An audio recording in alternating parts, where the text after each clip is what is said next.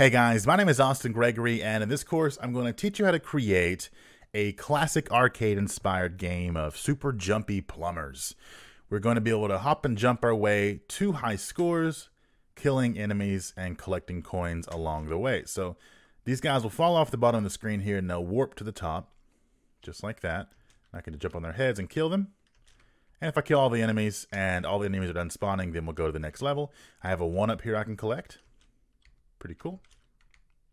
And the enemies hit each other and they go the opposite direction just to make it where they can just kind of go crazy. Notice no matter where they warp, they will come out the other side. If I collect these coins here, I get extra points. Just like that. And there we go. And back to the beginning. However many levels you would like to have, I just have a couple of levels in the demo.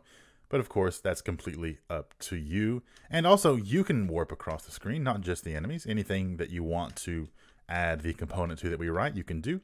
If I die, I have a little spawn point set up right here that's going to spawn me back in. We're going to learn a lot of cool, simple stuff, and this is all going to be very basic C Sharp, nothing too advanced. And I'm going to talk you through most of everything. As long as you have a basic understanding of C Sharp, you'll be doing all right. So again, my name is Austin Gregory, and I will see you in the first lesson.